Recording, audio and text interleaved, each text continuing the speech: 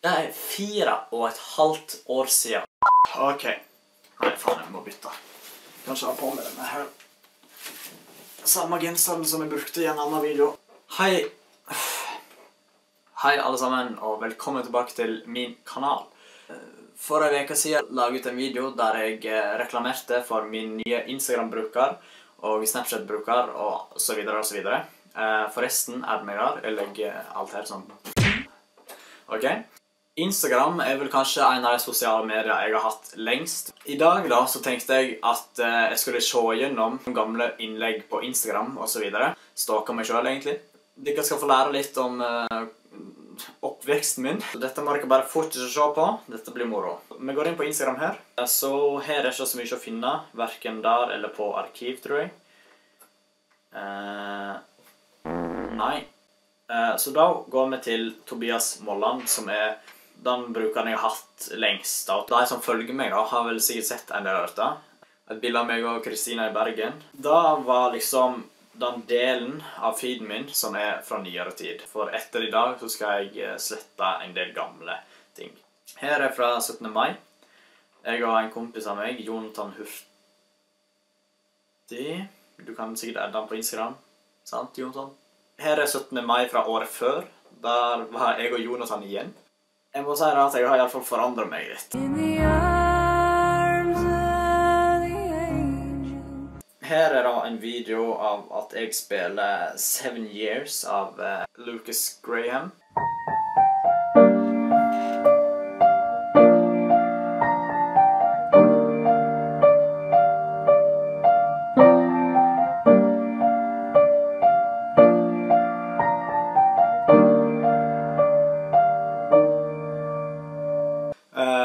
Ikke så god til å spille piano nå, dessverre. Dette er jo da 30. april 2016, så det er jo to og et halvt år siden, liksom. Eh, Her var enda en pianovideo. Det er så lenge siden at jeg kledde meg som en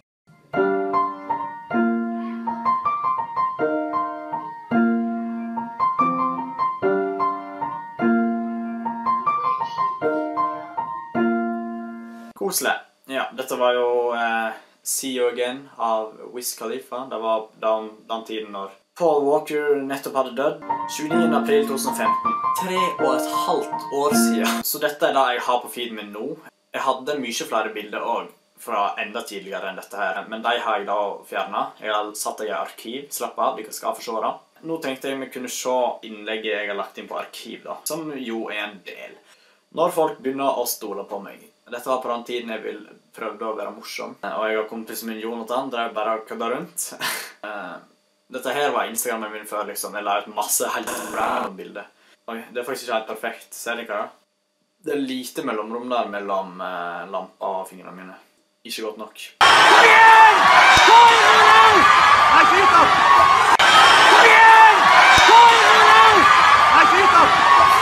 Sogndal Brann 0-0. Ett rødt kort og rundt 20 gule.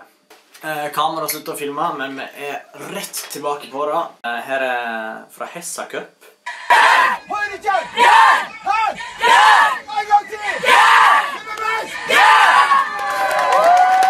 Ja, dette ble lagt ut i eh, 2016, så det er to og et halvt år siden cirka. Ja, her vant, hadde vi da vunnet finalekampen i B-sluttspillet, tror jeg. Hvis jeg husker rett. Det pleier jeg ikke å gjøre, men eh, det er greit. Og det var litt morsomt, vent da. Det, se nå. Følg med på Benjamin, altså vennen min, han i midten der cirka. Han har armen ned, legger han opp. Tek han ned, og så opp igjen. Ok, nå mobber jeg Benjamin her. Unnskyld, jeg kan betale deg. Eh, her er siste skoledag i åttende, tror jeg. Ja, det må det være. Da var, det en da vi en god gjeng, god vennegjeng som eh, tok et sånn der eh, klassisk eh, Instagram-skobilde. Eh, jeg vet ikke hvorfor vi gjorde det, men Ah, yeah. Mm. Hvorfor legger jeg ut noe sånt? Jeg, var, jeg gikk i åttende. Jeg hadde ikke begynt i åttende engang. Og jeg tar bilde av min, mitt vaskebrett med en selfiestang, noen billige solbriller med en dårlig voks og bare ser ut til venstre for kamera. Bruker filter, og så skriver jeg hashtag filter fordi humor. Ja, stemmer det. da. Jeg lagde da en kopi av en kusjokolademelk-kartong. Da var jeg da en konkurranse med New Work og kusjokolademelk. Du kunne vinne masse kult. Yes, det er nå litt over to og et halvt år siden cirka. Her var en fin selfie. Eh, tre år siden nesten. Det var på en tid der veldig mange skypa med hverandre. Vi hadde sånn gruppe-Skype-chats sånn nesten hver dag. Håret rett opp og headset som uh, så vidt dekka ørene mine. Å, fy faen. Look at this face. Ho, her var jeg ung. Ja, det er nå faktisk tre år siden dette her. Bursdag i morgen. Jeg ba jo faktisk om gratulasjoner. Ja, sånn var livet. Lørdagskos i går, i parentes. Det er viktig å peke fram, så ingen kommenterer det er søndag i dag, Tobias. Hva er det du snakker om? Eh, her Hva faen er det? Ok, her var jeg på en 4H-fest, da. Jeg legger ut bilde av en vei.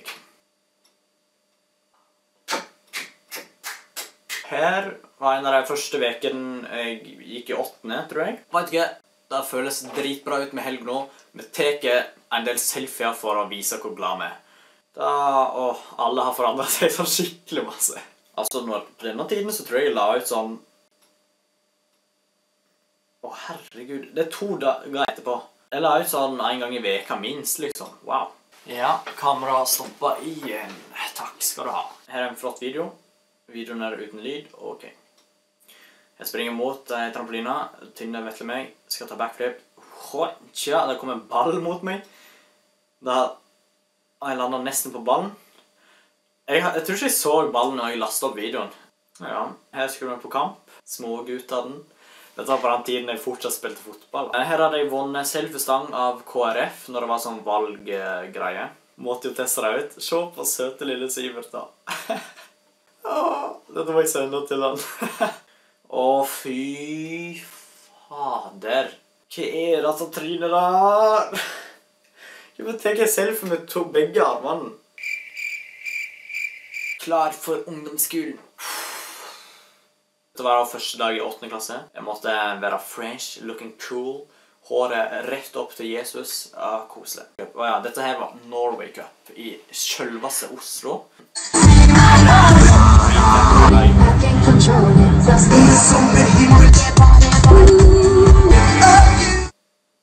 Å, fy faen. Huff.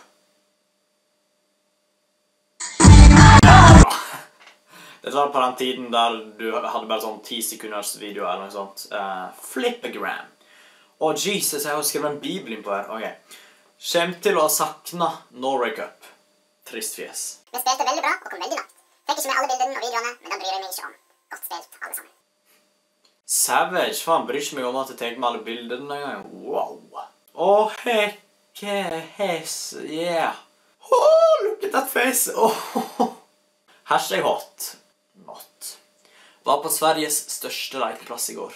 Tre og et halvt år siden. Helvete. Her tok jeg bilde av en is etter at vi har vært på sånn is- og bærbuffé. Jeg trodde det så veldig godt ut, men det ser ut som oppkast i en bolle. De grimasene jeg gjorde før, kjøpte meg prikk, prikk, prikk. Jeg var enda et uh, forsøk på å flekse litt muskler som jeg ikke hadde. Summer feeling. Og her er en, en ny video, endelig. Dette har vi ventet lenge på. Video er litt mer spennende.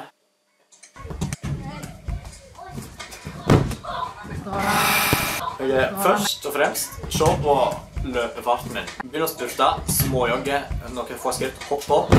Og så må noen kommentere Jonathan som stemmer på slutten. Strålende, strålende, strålende. Strålende. Her var vi i Bergen på klassetur i 7. klasse.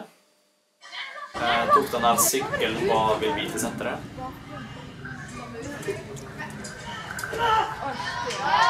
Ja.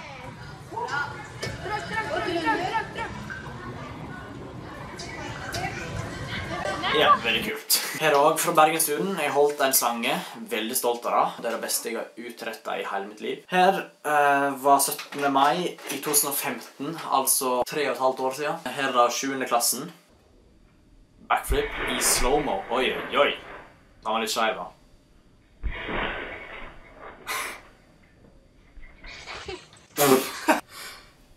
Å, fy faen. Rumpa rett ut, da.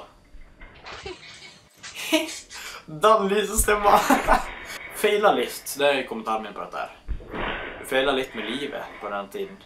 Ok, To bilder til nå. Kan vi klare det før Dette her er jo så klart veldig, veldig fint. Hashtag Hashtag Hashtag kjempefin. Og her det aller første bildet på Instagramen min, og det siste jeg kommer til å vise dere. Meg i Ronaldo-drakt fra Real Madrid. 26. mai 2014. Det er fire og et halvt år siden. Å nei, jeg har ikke fiksa håret. Dette bildet var veldig ambisiøst. Jeg tagga til og med Cristiano Ronaldo. Han så jo så klart dette og likte det og kommenterte det og alt. Så da var alle bildene jeg hadde. Å, fa... Jeg, jeg kom faktisk på noe. Jeg har faktisk en bruker til. Det er 2019. Dette er den første brukeren jeg lagde, eh, som da blir eldre enn for fire og et halvt år siden. Jeg har sletta alle bildene, ser jeg. Men iallfall, her er da eh, noen gamle bilder av meg, da. Jeg var vel sånn åtte til ti år, kanskje. Yes, søt gutt. Da var det min eh, Instagram-historie, kanskje. ja. Håper dere likte det. Håper dere ble på en måte litt mer kjent med meg. Tusen takk for 1000 abonnenter. Abonner, lik videoen. Ha en god dag. Ha det bra. Love you.